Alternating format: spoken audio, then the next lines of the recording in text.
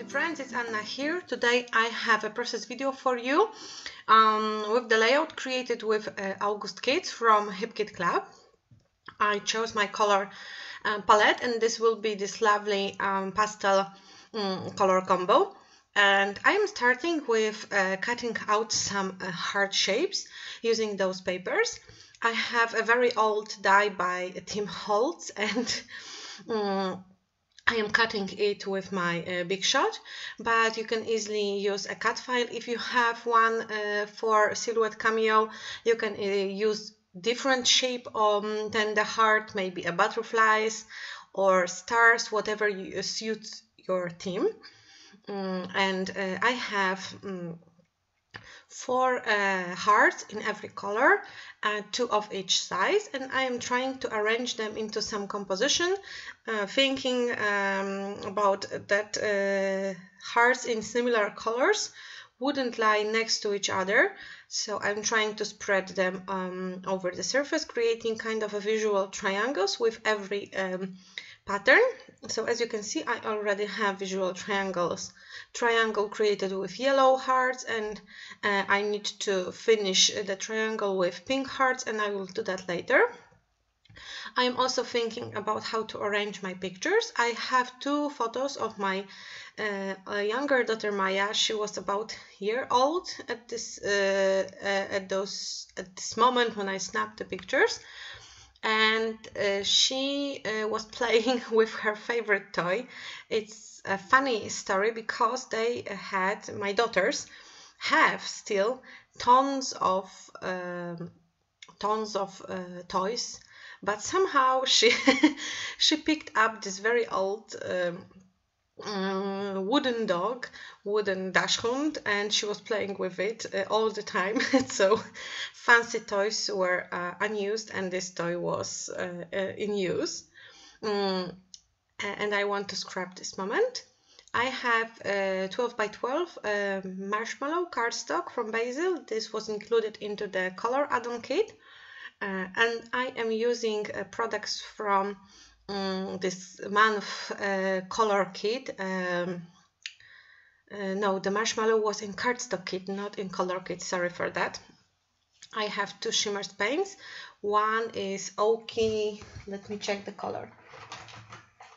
Oaky Bear Blue, and the second one is Minor Minor 49er and I am also adding uh, a little bit of uh, blue Pinkfresh Studio liquid watercolor that was included in the previous month and I am also adding a tiny bit of the yellow uh, Pinkfresh Studio watercolor.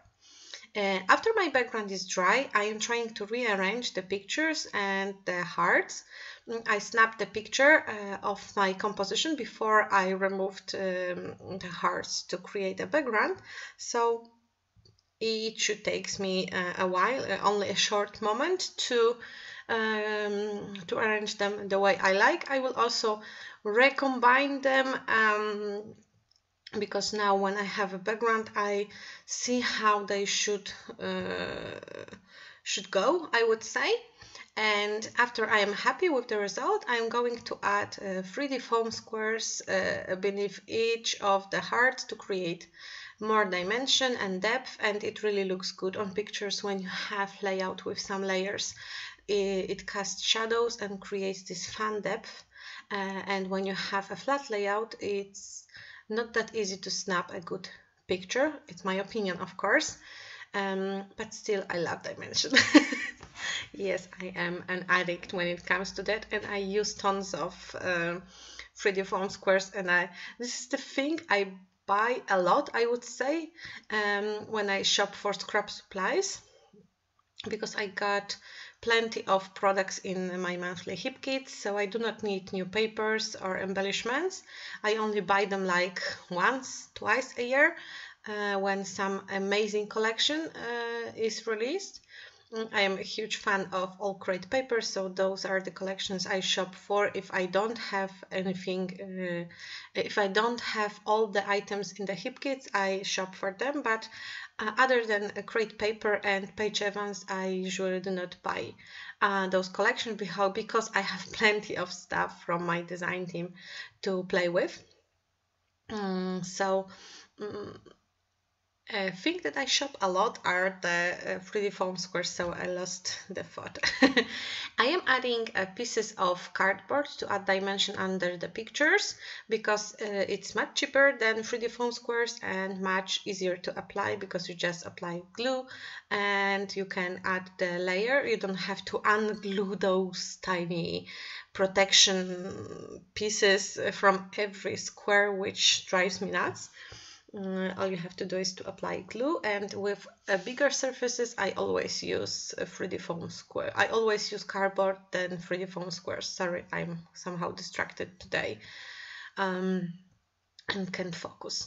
I, uh, I'm, I am gluing also two remaining uh, hearts that were, were not glued before because I was waiting for my pictures to be glued down and now I am adding more hearts, yay! it will be very hearty can I say that? Very hearty layout. I also have those super cute and adorable uh, hearts from uh, Amy Tangerine, a new collection. It was included, I think, into the um, into the embellishment kit. I hope, maybe. Uh, and they are double-sided, so you can use them other uh, any side you want. You can punch a little hole and make charms uh, from them um, and I am using a tape runner to adhere them because I think it will stick better than the regular liquid glue. I trimmed the excess of the hearts uh, that were uh, sticking behind the edges of my layout and I'm adding more hearts fussy cut from one of the uh, Willow Lane papers. Um, I'm picking the colors that match my color scheme, which is this mustardy yellow, um, reddish um, reddish pink, coral pink, uh, mint, and this gray blue color, I would say. Um, maybe a gray color with this blue shade.